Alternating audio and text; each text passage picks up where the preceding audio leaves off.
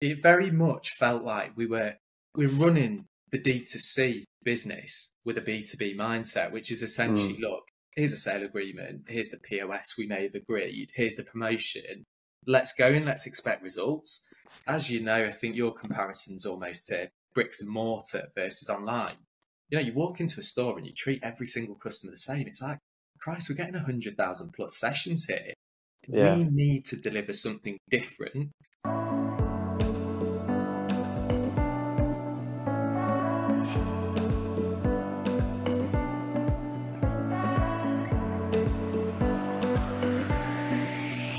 Hey Cam, how you doing? Hi Ian, you are good? Yeah, we're good. We, we, we I think we've done um, about the same amount of prep as Mark and I do with our podcast, where we've ju- literally just we're just running, we're just going straight into it. Eh? I was going to say in. we've known each other for long enough, haven't we, to uh, hopefully have a productive yeah. conversation. Well, that's it. Yeah, we'll we'll hope. Yeah, we'll hope. We may drift off again in tangents. We'll try not to talk about the weather Yes, but I was going to say, to be fair, the sun's shining at the moment, so it's not too bad. not in Manchester. Not in you Manchester. got rain at the moment, or yeah, it's always yeah. It's raining this morning. Yeah, yeah. Typical. I was going to say, I always forget to pack my umbrella when I come down to your uh, your office as well. That's true. That's true. Well, thank you. Thanks for coming. Um, just to just to introduce yourself, Cameron. I'll let you introduce yourself, but uh, but essentially, you are the pioneer of Grenades online strategy. Um, so, who just talk about talk a bit about Grenade and talk a bit about you and how long you've been working and what's been going on. Yeah, spot on. It's a flattering intro as well. Um, so started out sort of just under 10 years ago, um, scaling D2C brands. I think we started working together almost two years into that journey. Um, worked for an international uh, housewares company before Grenade and then started at Grenade around two and a half years ago. Came into the business as a e-com manager, soon became their head of e-commerce and almost with you guys was with the business understood the vision, understood what we were trying to achieve, and almost held the business's hand to scale to where we are today.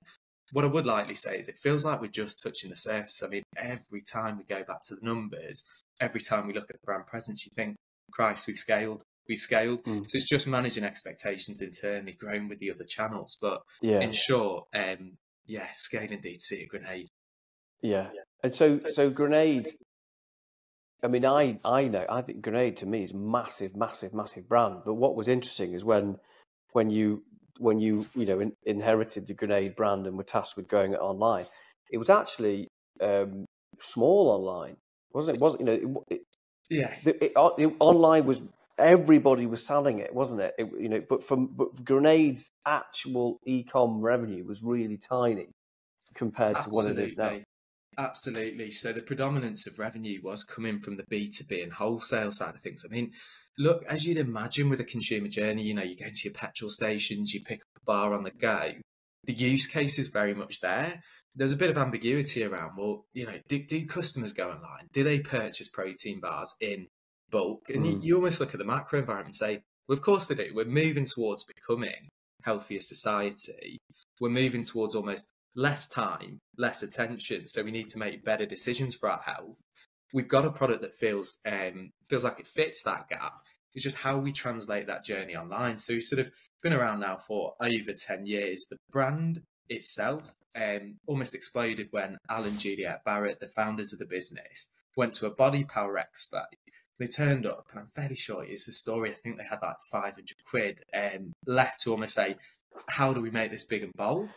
Turned really? up and said, Sorry, we'll we'll get a tank. We'll get a tank. And we just actually, if you check LinkedIn a month or so ago, there's a picture of all the grenade team, their camo uh, trousers, sort of old school grenade um, grenade vests, mm. almost promoting this body power piece. And it felt like that's what encapsulates the brand well.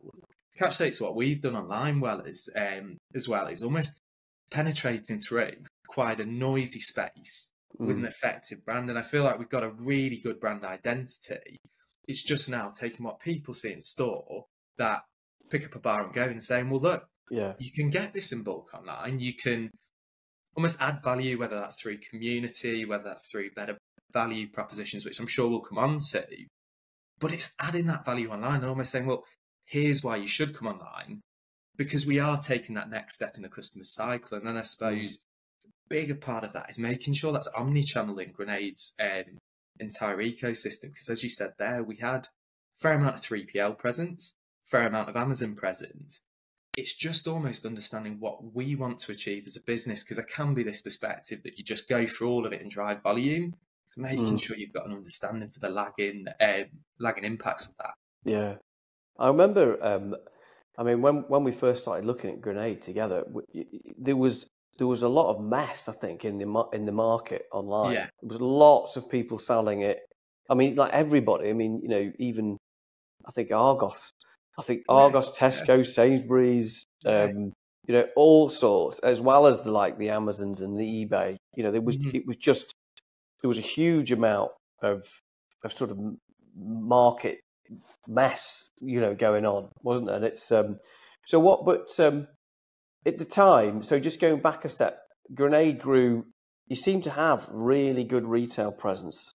Mm-hmm. Like it seemed to be, you know, there was a time I think where, like you say, you went to every petrol station. I think it still is. You see the Grenade bars there. Um, it's an, and and, and it's an amazing amount of brand presence. Um, and then and then I think a lot a lot of it, I think it was really that was the that was the primary driver, and then it was actually saying, well, how do we actually take? The problem was, though, I think, is that we didn't have a relationship with the consumer because the relationship was through the wholesalers and the retailers, and we didn't actually know who the grenade customer was. Had no relationship with them. Absolutely, absolutely. It very much felt like we were we're running the D 2 C business with a B 2 B mindset, which is essentially, mm. look, here's a sale agreement, here's the POS we may have agreed, here's the promotion, let's go and let's expect results. As you know, I think your comparison's almost to bricks and mortar versus online. You know, you walk into a store and you treat every single customer the same. It's like, Christ, we're getting 100,000 plus sessions here. Yeah. We need to deliver something different, something unique to say, well, one, how do we differentiate from those guys almost on Amazon? Because we're not in a game to almost race to the bottom it's almost manufacturing sounds like we're manipulating a situation, but it's it's the right inputs to get the right outputs. And I, mm. I don't believe we were straight with that. You know, we had this principle when I first came in, we've got to sell at this price because this is a a concept store in a sense, which visually it looked fantastic, but what we're not here to do is create the, the best looking website in the world. We're here to drive revenue and most of all support our customers. So mm you looked at the buying patterns. I mean, I don't believe anyone was purchasing a box for that price. So it's almost isolating. Well, hold on a second.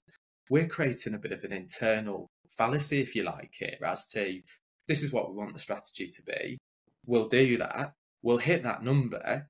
But if we don't change our mindset, we, are not going to scale. And I think it was mm. aligning our our goals as a D2C team to the B2B team and almost scaling with the understanding that look that that is where the business gets the predominance of revenue so it's scaling yeah. with that in mind not detracting from what's going on over here but making sure we've got a value proposition on the mm. uh, the online side of things because as you said it it very much and i see a lot of brands in this situation it can become the wild west yeah i think what, what was really interesting is i think because the grenade was so so big on the wholesale retail the retail side with retail stores you know that then you know you rocked up in the business and said uh actually we're completely yeah. uncompetitive like we, we, was never going to like sell you know because we, you were just too expensive weren't you? You know and there was no reason to buy from you. And i think the business was like well we can't we can't possibly be seen to be, you know, recruiting yeah. a customer, you know, you know, slightly cheaper or with a discount. And and, and uh, but the, but really, what what's happened is you've been able to have a relationship directly with the customer. And now, I mean, I remember you saying that if you wanted to launch a new product into a retail store, um, you know, you'd have had to have negotiated with Tesco. You'd yeah. have had to have spent, you know, fifty grand a store. You know, you'd have had penalties if it doesn't. You know, you you know, if you want a gondola end, you know, yeah. and it's just like, oh my god, it's it's like they completely hold you to ransom. But the but the the goal I remember was look if you can if you can actually recruit the customers directly, you can launch other products in to them, to the consumer directly, without having to go Tesco. Uh, can we have another gondola end? Because we want to, want to, and they, you know, and they just go no. Yeah, yeah. so there's massive, best, massive benefits. Hundred percent, hundred percent, and it's almost taken away that black and white, back and forth conversation. To say let let's take a bit of that autonomy, let's take a bit of that brand equity, and almost control what we want to achieve. You know, Grenade Oreo is a great um, a great example of that. And I'm skipping mm. forward a little bit, but what we've done is we'd almost said, well, look, let's change the strategy here. Let's become a bit more competitive. Not not lowest price. We're, we're not we're not there, yeah. and I don't believe we'll ever go there. But what we're doing was offering a fair price with a value proposition through loyalty points, through gift with purchase, to then build that database. You know, you said with your working model, which again I'm sure we'll come on to, you said, well, look, let's drop the ROAS. Let's look at our lifetime value, which was tremendous because we'd relied on that return customer using loyalty points. We just not amplified it to say, okay, hold on a second, we've got a got an almost NPD launch site here. Yeah. First experience of almost a huge NPD with Grenade Oreo, but you could really yeah. see the effects of that. I mean, came to January, I think it was two weeks into the year, into 2023. Um, forecast the start. I remember looking at my original forecast thinking, "Oh no, I remember." Optimistic, you know, are we going to achieve that number within a week? It's articles everywhere. Well, that's we, what that's what made me laugh because I remember. Like, shit, yeah, I can't I remember believe doing, it. I totally. I remember doing the we, looking at the forecast together. I think we both went thinking, "Oh God," you know. I think you. I think possible? you'd like quadrupled. Yeah. The forecast was like quadrupling the revenue from the previous year, and we looked at it and went, "Ooh, that's going to be interesting." And then and then start and then you started to to push, and I think you'd hit the forecast in like the first month for the whole year, and that and then we had to revise it because we're like, uh, clearly we need to, clearly we can hit this. I, yeah, I absolutely remember it. I was sat in um, I was down in London, I think my partner had uh, a set of exams, and I remember being sat in a Costa at something like seven in the morning with demand planning on the line. My MD almost saying, "Well, have we have we not got the stock? What what's happened yeah. here?" We, and it sort of went back and forth. Got some stock to grenade.com, but what that did show as well, going back to the original point, that this could be that concept store, but in the yeah. right way. It could be our almost flagship to say, right, we're you, launching a product here. You launch it in it. Let's yeah. amplify. Let's amplify. Let's win a customer because they want to hear from us on social. They want to hear from us on Google. Let's give them a bit of fun. And that will also benefit the retailers, which I think is almost the irony. If you go back to front, you, you pop a product in, like bricks and mortar, sat on a gondola end. How many people will see that? It's very specific. Mm. It's what you've agreed. Whereas online, it's almost if you create that platform, it can grow arms and legs. And I'm going to get too sporadic, but you see that with TikTok Shop at the moment. You know, it's almost there. Uh, quite a lot of uh, whispers going around about scalability. But if you almost set the principles right from the get go, you can scale. It's just having that real mm. understanding of what can I acquire, and you can, and you're so much more agile, isn't it? Yeah. You're with your with your gondola ends in the retail store. I mean, it can take you know years of planning Absolutely. You know, and then you're committing. You don't, you know, you, you don't know how it's going to go. But with with your D2C, your direct, you know, with the grenade shop online, you know, you've got complete control. So let's go back to that because so so we've said at the start, you came in and there was there was everybody, every Tom, Dick, and Harry selling selling grenade online. Mm-hmm. You know, from from big retailers uh, to you know the small kind of eBay yeah. and Amazon and everything in between. Yeah. And so you wanted to create that direct channel. So the I remember the first thing was was working out with the margin calculator, working out how much you could afford to recruit a new grenade customer for, and understanding that. Yeah. You know, absolutely. And it was quite obvious, wasn't it, that it was like, well, look, because the, the, lifetime customer value of, of, the grenade was was good. Like tremendous. They, they, you know, they once you got them to buy, yeah. lifetime customer value was much stronger, like double, three times the average of exactly. at least. And so we, you knew that the maths were there, and so you you knew exactly what you could pay to recruit a customer, and that then became really like just a sounding board, wasn't it? I mean that. I mean, I remember sitting down and going through that with you, and it was Yeah. like, right, as long as we don't acquire a customer for over this price, happy days, go, go, go, go, go. And I think basically spent as much as you could until you hit that that um, that low, you know, that that lowest ROAS. Absolutely. And then, and I remember doing the drop by drop. And actually, you, you, you, when we did the drop by drop together, you, you actually helped Mark and I with because you added some extra tabs, which we thought, oh, this is quite good. Cameron's got his head in this, and we we then pulled them into our drop by drop. because We thought that was really good. But t- talk about when you had that clarity of using the drop by drop and seeing, you know, the daily, you know, new customer r- ROAS. What what was going on there? Because I mean, that without that, it was like, you know, Exact- what do you do? exactly. It, it felt like, and I almost describe it like we had this trust fund off, off the coast somewhere that we could not unlock and could not access, and we knew it was there. That's It was definitely there. We we could all see it. It was very much we'd worked together and we understood how we'd almost scale from acquisition to LTV. It's how we bring that model across into the scenario that we had at Grenade. And for, for me, it was very much a well, one, look at the LTV over here. What's going on? The reliance had very much been on database sales. So what we'd said, we had a very poor experience with turning on Google Ads.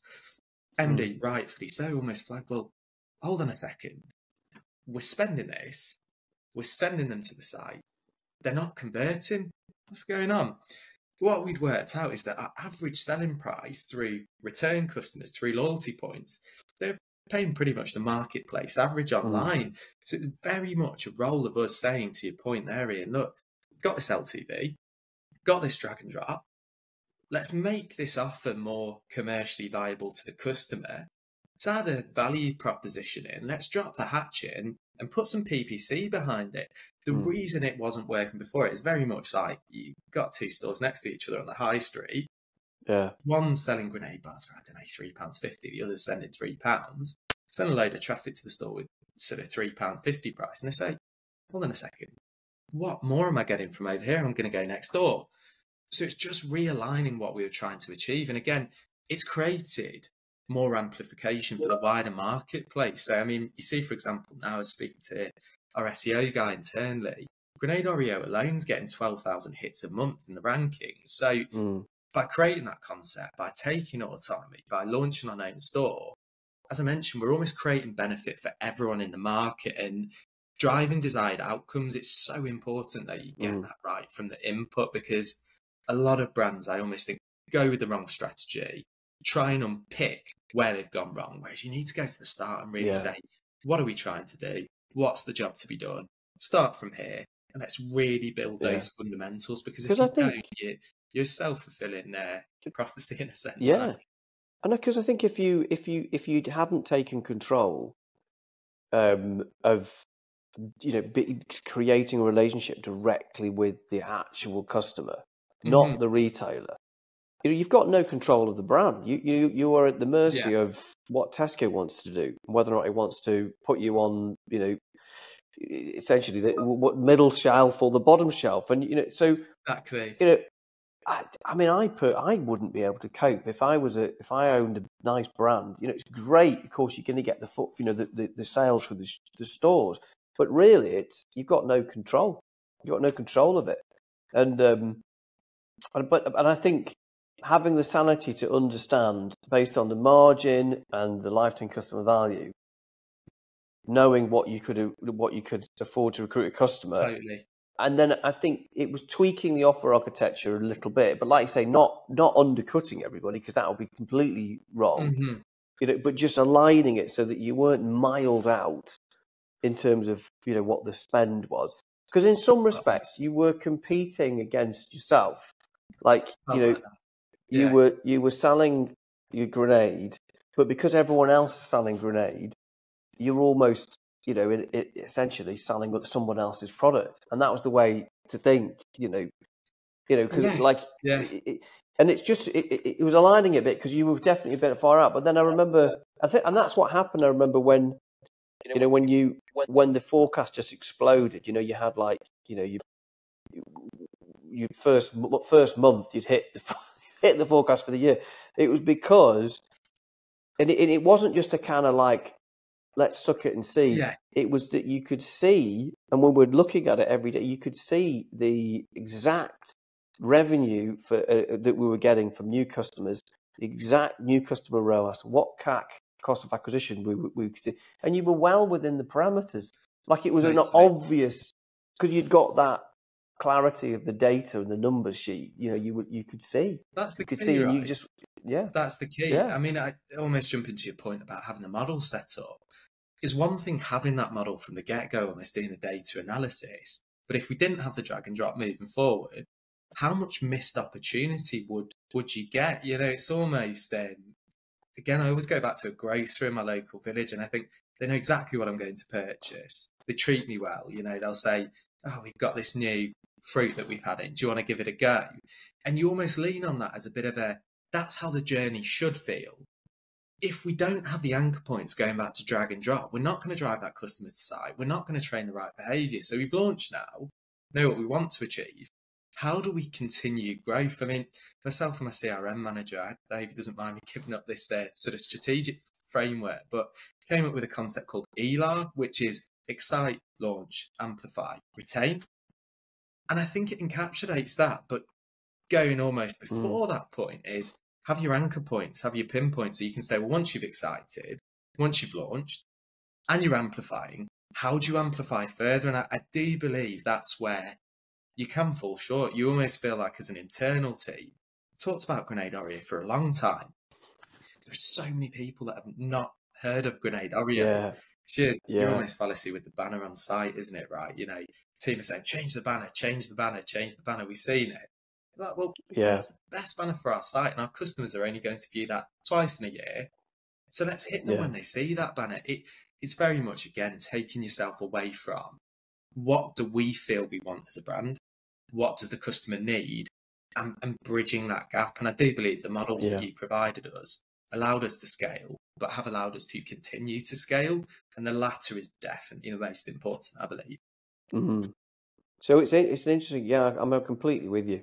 It just takes away that emotion, and you have that rational. Yeah, And also, I think from from your perspective too, getting the wider business on board to show them, look, you know, we're we're not just we're not just asking for a load of budget and a load of stock for fun, you know, totally. because I feel like I Yeah. want to be, you know, I want to grow. It's actually looking at the numbers, look at it, look at the look at the profit Yes. contribution, Yes. and and you know, you know, this is this is it. This is the, the you know we can take this market and actually be much more profitable, and that was it was just night and day, wasn't it? It was without that. I think you know you sort of, I think so you know sort of going around and, and, and trying to plead your case emotionally, and everybody's got that, and also you're competing against the, you know, the guy. No, I don't know if it's a.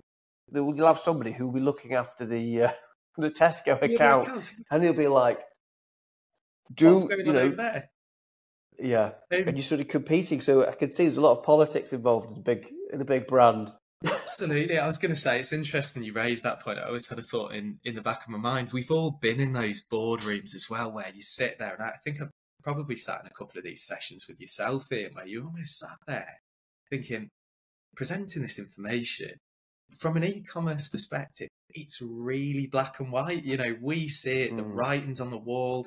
Consumers are seeing it, and Grenade does not have this, and I'll come on to sort of how we how we push that strategy internally. But you sat around there, a room full of key stakeholders that are very highly intelligent, know exactly what hmm. they're doing with their own channel. But there's there's almost a lack of admission for online. You know, sweep it under the carpet. We don't want to know. No pricing's fine. It's like wake up. You know, wake up. Let, let's look at the actuality and push forward. And I, I do believe with the, Yeah. the grenade team internally, that's what almost allowed us to push the strategy forward was we had stakeholders that, that knew where they wanted to go, knew where they'd driven the brand, had, like I said, you know, 500 quid at body power with a tank display. It's like, Mm. think big, but we're not quite there yet. With that mentality, you know, you, you can go anywhere that you you want to. It's just having the structure to support it, and I believe that's what we Yeah. lack. To be honest, we tried a bit of PPC, wasn't quite there. We pushed a loyalty scheme, wasn't quite there. Once we joined the two together in synchronicity and said,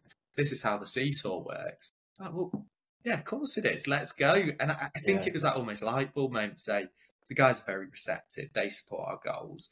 We've got clarity of where we're going. Cool. Let's let's send this rocket ship to the moon. Yeah. Yeah, and it was it, it was awesome to see that. It was a very it was a huge transformation. When you know, in terms of the growth, I mean, Oreo particularly, the Oreo bar, that I think surprised everybody, didn't it? How Absolutely. successful that was. Absolutely. I mean, the NPD for for ourselves, as I said, you know, we had sites a couple of days after launch publishing the quantities that we'd sold through, and I was it was almost like yeah, sort of hear the kids talking about Supreme clothing drops and whatnot, and you think Yeah. it's exactly the same.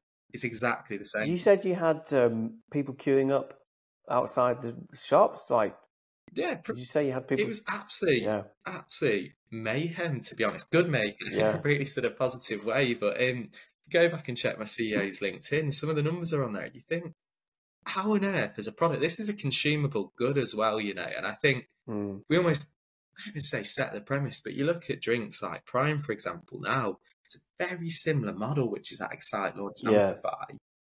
yeah. It's almost taking that concept and saying, well, how are the guys building hype? Let's use digital to build hype and let's Yeah. harness the hype and let that almost continue. I mean, it's no You can harm test it online, can't you? Sorry, what, what was that? The missed you just there. I was just saying. Sorry, uh, interrupt you. Uh, you you can te- you can test these launches Yeah, online totally. much more quickly, much much more cheaply than having to then do a massive nationwide launch or pick some stores and do it. Well, Yeah, absolutely. you can do it online. And, I mean, you look at the likes of My Protein, a great example. They use their web shop as a test bed for NPD. You know, they're re- really clear about that. Um, a couple of the brands that I've talked to internally under the Mondelez ecosystem, again, ve- very similar is let's concept this product, let's gain a customer, let's talk to that customer, let's also hear their feedback about the product. Grenade Oreo, great example.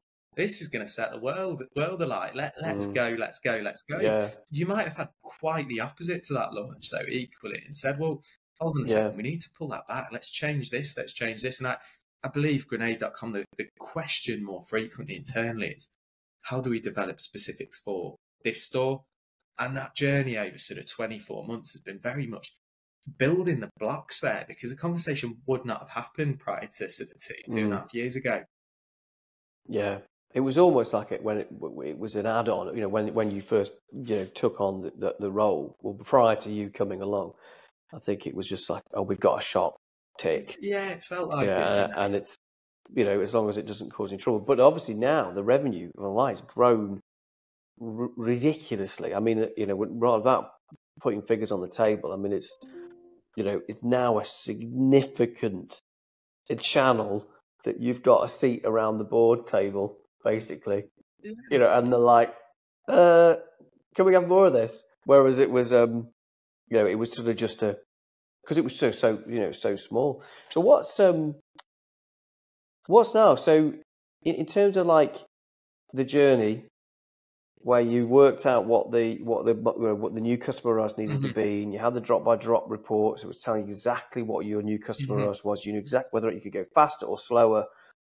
And then and then now you're at the point where, in terms of aside from the you know new product launches, but in terms of like the maths, changing the maths. So average order value, lifetime Yeah. customer value, email data capture, offer occupancy. What, what's going on now? Like, how are you going to continue that growth?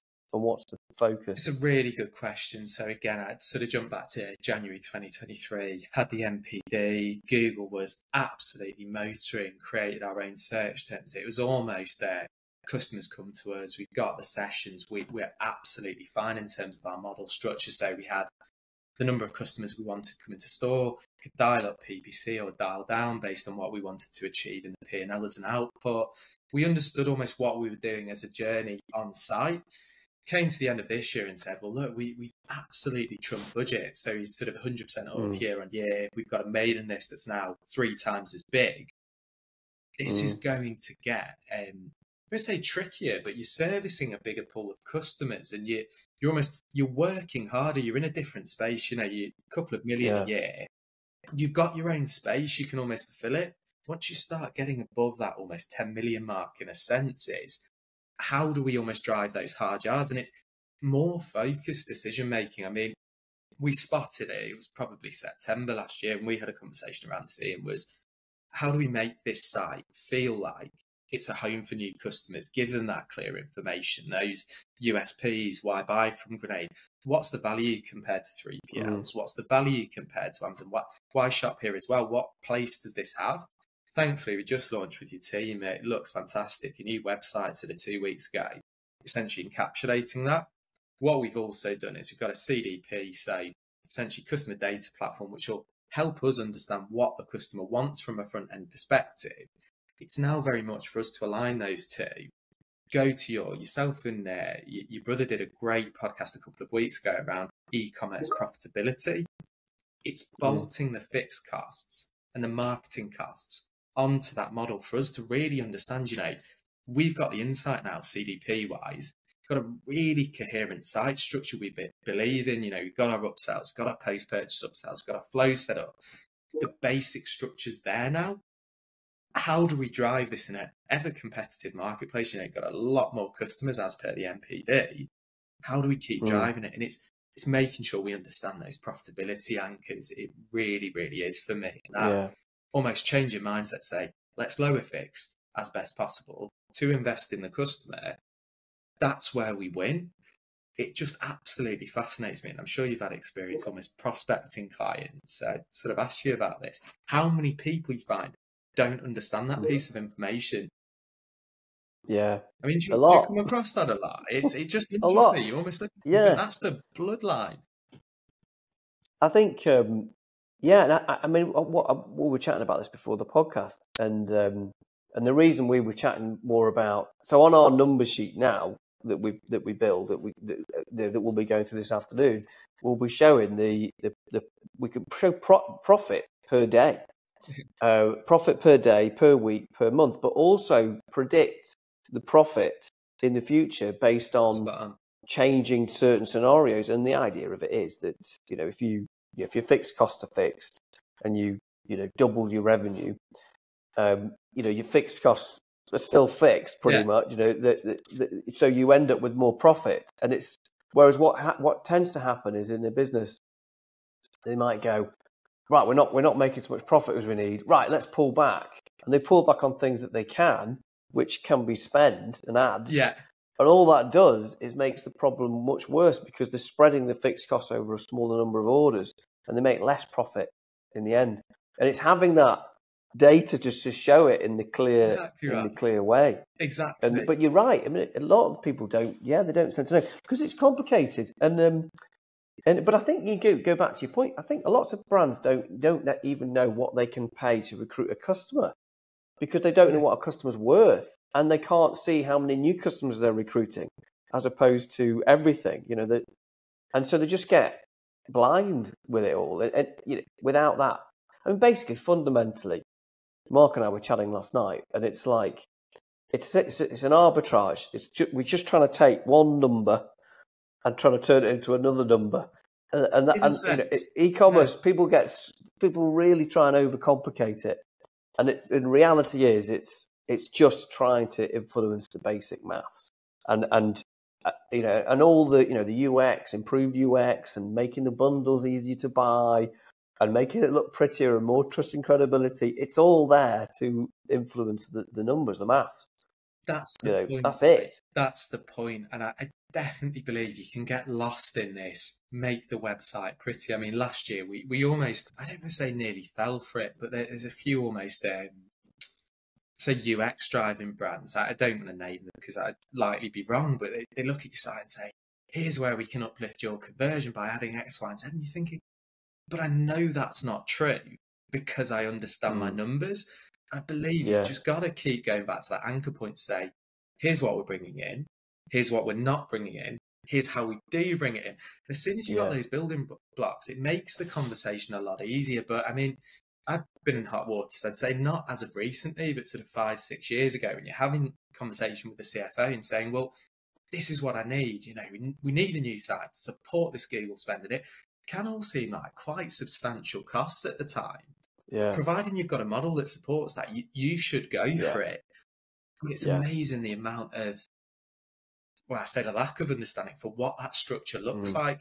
whilst bolting on top. So you almost, I mean, you could Yeah. look at a house, couldn't you? And you could say, I don't have a foundation. My house is subsiding.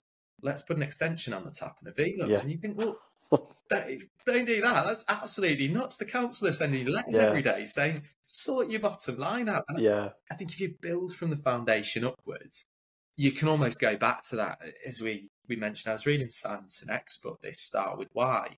And that goes back to Yeah. them. Don't just try and unpick pieces of your poor strategy that you set to begin with to fulfill what you set to begin with. You say, get the anchor points right. And I think that's Yeah. what you guys nailed well. And I'm sure that's majority reason why we continue to work together for pretty much 10 or so years is that foundational information with, with no BS. It's yeah. well, I think yeah, it's it's it's, it's definitely it's definitely right because it's fundamental. I mean, I mean, I, I used to tell this story of how we met we met we met an econ brand and they were they were selling uh, pens like really really high end pens Yeah. and they had retail stores and they had online stores and they were they were really struggling to grow and they uh, they they were obsessed they thought the the answer was to make the website faster You Yeah, hear that quite a lot, right? yeah, so that you know they'd been uh, googling, you know, someone on someone on some internet, you know, e-commerce guru had said, "Oh, you need to make the website fast. That's why you're failing," and they became obsessed with this. Um, spent six months trying to make the website faster, and wait, you know, waiting to roll the new site, you know, the, the new faster site out, expecting it's going to revolutionise their, you know, their revenue hmm and it did nothing. It, it it did nothing. But the worst thing was that in the six months that they'd wasted and the massive amounts of money they'd spent trying to make the website faster, um, th their their cash flow and their market had declined even further. They went into administration, um, like after you know a couple of months after that, and it, and it was because they hadn't addressed why buy from them in the first place. The pricing was way out. hmm You know, their um, they had no email, email capture. They had they had no reasons to buy. They Yeah. weren't even saying it was in stock. The delivery was poor. It was fundamental. You know, the customer doesn't buy, it. and it was a it was a bit like you know putting a fast service checkout till in a high end jewelry store, and, and thinking, well, that's what people clearly want. They want to be able to check out faster. So that you know that's what, and it it's just crazy how you know th- these sort of things happen. They happen all the time.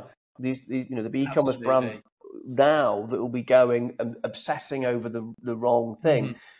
because they haven't looked at the fundamentals of what's actually happening, which is basically the numbers. You know You're totally right. what's going it, on. it amazes me. I mean, it's, it's quite difficult in such a fast paced environment. Like you said there, you know, you make the wrong decision. Within six Yeah. months, it could diminish like doggy bottom years. line completely. I mean, again, in that profitability podcast, I think you've mentioned, you know, these uh, sexy style tools that you, you get sold and almost you, you have to fulfill as a, an ecom business over a certain, certain size. And again, you can very much see these sales reps, they're very convincing. They've got don't get Mm. me wrong, the tools are fantastic. You know, you might look and say, Christ, my website's much much faster. But to your point, if you don't understand your customer, you don't understand the information, you know, you don't sift through your reviews to understand what are my customers asking for. You don't have any feedback Mm. survey, you don't have any data touch points. Well, again, you're fulfilling what your team, however big they are, 4, 10, 15, around that table, feels is best. And it's almost like, well, look, hold on a second. We're five people and we're servicing, as I mentioned, 100,000 plus customers on site. Mhm. They're not five buyers. They're very different. So just start to continue to to almost go back to basics, use the models to scale, and you'll get there. But it is very easy to get caught out. And I do Yeah, believe is, the e-commerce industry, there's not much mercy, is there, to make mistakes? You know, you make Yeah. one or two big mistakes, and it's like, blooming heck, my bottom line's blown out Yeah. for six Well, months. and it moves so fast, doesn't it? You know that like like it is like dog. You know, six months is like you know six years. Yeah, If you- and absolutely. if, you, so if you're doing the wrong strategy, you know the, the the market's just moved on. You're like, oh my god, you know, hmm w- we just massively lost that that, that growth we had. We saw it. Yeah, it's very easy to fall into. Yeah, We saw it with pandemic commerce, didn't we? In a sense, was very much that if you were prepared and if you had your almost basics right, you could scale. You could absolutely Yeah. scale. But Yeah. if you didn't, it was very apparent that the players within your industry that understood their customer, understood their models, would take your customer and win that customer because it was such a hyper competitive almost environment. Mm. And it's almost the same now. You know, you've got more players in the space. You've got Well, I think yeah. more intelligent, is, uh, more intelligent decision makers, better tooling. You've got AI coming into play, and you think you cannot afford to have the wrong anchor points because you'll continue to fulfill. Yeah, and it, it's. Uh, I mean, also it's it's it's more expensive now. Mhm. You know, the cost of advertising's gone up, and and so you know we're having to fight much harder to convince the customer uh, to buy, and so th- th- it's about profit now. This is what I think. you know, really post COVID, it was about or COVID and post, it was growth. Let's go, go, go. And Yeah. now people are going, hang on a minute. I've, you know, I'm not actually making as much profit as I want, and it's now it's about profit. That's what I and having that as the kind of north star of that clarity. Look, this is Totally. this is the profit we're making, and this is what this is what we're driving Totally. I- um, an overall. I believe you give Yeah. yourself autonomy with that, don't you, Ian? Because you look at Shopify, for example, that the tech stack is essentially there. You can get bigger and better, Yeah. but the tech stack and what you want to achieve from a sort of front end and back end perspective, you got various CDP tools, you got Triple Whale lifetime, Mm. you got your again bigger and better tools as you graduate, maybe a Metri Salesforce. But if you don't have that pinpoint right, it just goes back to the numbers, and, and you can end up Yeah. getting into that game of sexy solution, no profit. Well, hold on a second. all over the place. Why are we yeah. in business? And ultimately, you're not giving your customer what they want, which is to see your product, to get a strong offer, to purchase, and to continue engaging with the brand. Yeah, we we are um, we're retailers. You know, we we are the right. same as the as the guy in the shop two hundred years ago. Mhm. You know, and and and I think the reason why e-commerce has sort of fallen into this trap of the new shiny distraction is because it, it was a technological race. Like just by being, you know, go back twenty years, by be, by being the first person of selling online, that was enough. Oh, You didn't need right. any. You're just You there. didn't need any strategy or offer. It was like you're just there, and then and then it became the website's got a bit better. Yeah. Like with you know Magento came along and tried to sort it, you know sort it out, and the website's gotten a bit better. And then Shopify came along, Yeah, and now everybody has got is on the level playing field. We're all on Shopify or something Totally. like that. It's no longer a technical race. It's completely meaningless. It's now it's now about old school retail, so it's kind of turned around because you know there's no advantages of having you know one website that's you know it's fundamentally not enough. You know you can't just have a website and people go, oh, the website's nice, I'm going to buy. totally. They're going to buy because we've demonstrated, you know, value propositions, we've, Exactly. we've, uh, you know, trust and credibility, uh, you know, offer architecture. You know, it's all it's all kind of fundamental retail stuff. Totally agree. Totally agree. And I don't believe, I mean, maybe you'll nudge the needle, but sort of new sexy sites, unless you have a dire need, which to be fair, we did at Grenade, it just wasn't quite right for our proposition. Mm. Don't get into that game. You know, it's your age old sort of SEO Can be the biggest distraction. Well, it? exactly. You know, it's your age old SEO guy saying, "We'll get you to the top of uh, top of Google rankings." You say, "Well, hold on a second. So and so is paying X amount for a click. They'll get to the top of rankings because they're paying Yeah. Google." So it's almost not fulfilling that prophecy. But we're, we're definitely at a good point in our journey. It's just really now about how we strip back where we need to strip back. Do we have the right stack? Yes, we do. Right, Mm. let's use it. Let's use it until the wheels come off. And then once we've used that, I'm Yeah. sure we'll look for incrementals, but don't look for that incremental tech stack, I wouldn't say, until you've got your numbers Yeah. down to a T, until your numbers tell you, right, here's where we need to be going. What's the numbers? Yeah, It's all it's the about numbers, isn't it? And like you said, I mean, you put a bricks and mortar retailer, I found, this out sort of speaking to Mondelez more and more. They're shit hot at the data, the input side of things, because they need Yeah. to be. They need to be. Yeah, I think we need to move more into that direction with e-commerce, as you, Yeah. as you mentioned. yeah. It's coming round. It's It coming is. back. Right, listen, Cameron, that was awesome. Thank you very much. Not at all. We could chat. We could chat all day. We've got a meeting now, actually, haven't we? Man to talk numbers, ironically. It feels like I we've talked know. enough about them, uh, doesn't it? But no, absolute pleasure to come on, Ian. Um, been fantastic. Thanks, Cameron. I'll speak to you soon. Cheers. Take Bye. care. Bye.